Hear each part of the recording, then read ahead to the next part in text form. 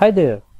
Recently, we at K21 Academy had a webinar on getting started with create, manage and migrate Oracle EBS R12 on cloud with Oracle Ace and author Atul Kumar. Post webinar, we got a lot of requests to share again about what's going to be covered in training and practicals on Oracle Public Cloud servers. So here I am glad to share with you what Atul covered during the webinar related to what things you should learn or what tasks you must perform when learning Oracle EBS R12 on cloud to stay ahead in your career and earn more. So let's hear out what Atul said. So let me explain what these modules are or 13 modules are. So module 1 covers overview and concepts of cloud. We begin with cloud benefits, concepts like SaaS, PaaS, IaaS. We go deep dive on what we went today.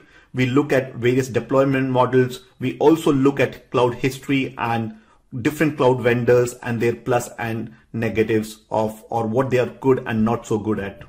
Then module 2 is about cloud offering where we cover Oracle's cloud offering in all three software as a service, infrastructure as a service and platform as a service. You should focus more on platform as a service. Now Oracle recently also introduced Oracle Cloud Infrastructure or earlier bare metal cloud. So we'll be updating our material with Oracle Cloud Infrastructure as well. Then module 3 is about EBS R12 on cloud architecture.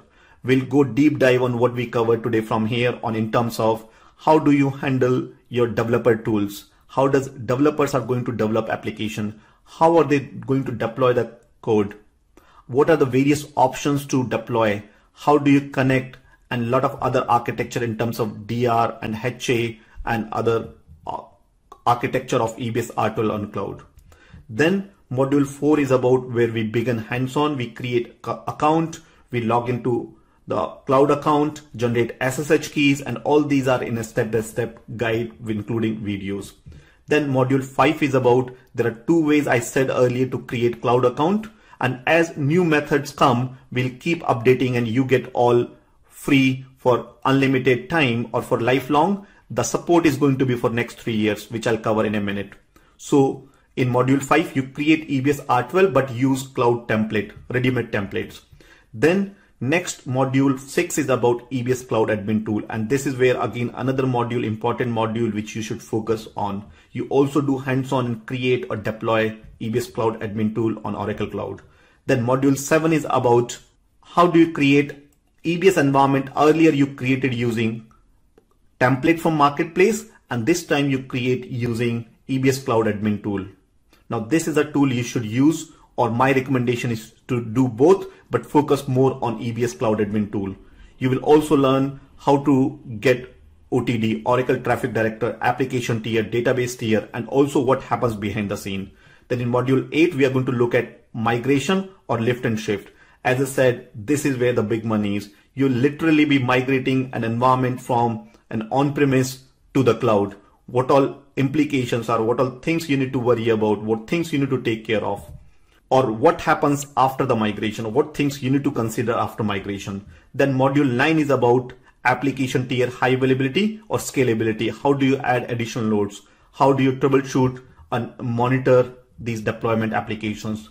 Module 10 is about cloning. How do you clone from cloud to cloud? You, if you're an apps DBA, you might be familiar with clone.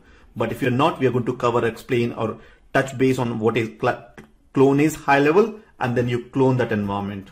Then 11 is creating a standby or disaster recovery. I know it's a lot, but that's what makes an expert an expert. That's what makes you get higher money.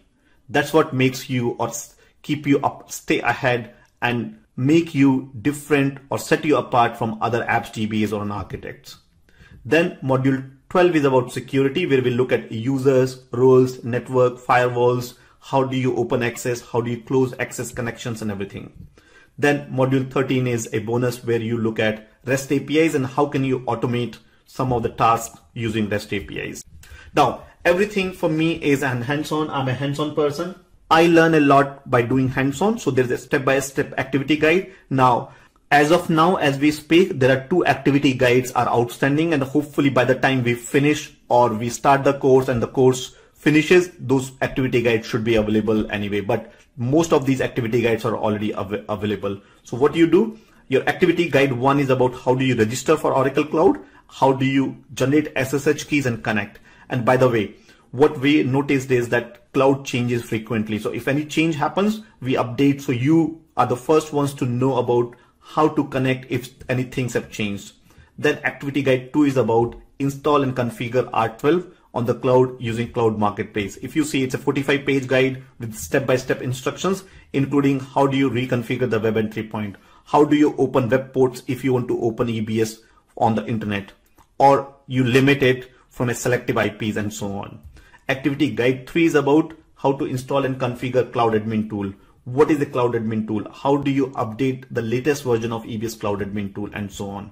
Activity guide four is about installing and managing EBS R12 using cloud admin tool that we discussed earlier.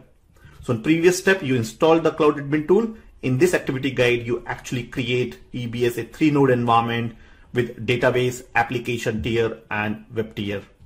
Then this is, as I said, is the most important critical in my view, or I've spent a lot of time, me and Amit, on lift and shift. So you, how do you using step-by-step -step guide on migrating your EBS environment to the cloud? Then high availability, this is the guide which we are working, but all the previous guides are already. So how do you add scale up or add a, another node to EBS environment on the cloud? Then how do you clone it? Or disaster recovery, how do you set up a disaster recovery from on-premise where DR is on the cloud? And then security in the cloud, how do you create cloud account roles or assign them the necessary roles and firewall, how do you configure firewall? Then there's another bonus module about REST API. How do you create some backup folders or storage using REST API? And you can go in deep on automating these things using REST APIs. Thank you Atul for this useful information. And with that, we can say that it's a very comprehensive course where it's not just about the theory that you will learn, but you will be doing the practicals as well. So if you are ready to upgrade your skills to stay competitive in market, to stay ahead of others and earn more, then go and register yourself for the course at http k21academy.com forward slash EBS Cloud 03. You can see the link on my screen as well. And if you want to have a more detailed look for the lab activity guides, go to http k21academy.com forward slash EBS Cloud 05. I repeat the link. It's http k21academy.com forward slash EBS Cloud 05. And to register yourself once again, you can see the link on my screen. It's http k21academy.com forward slash EBS Cloud 03. So looking forward to see you in the live sessions. Have a great time ahead.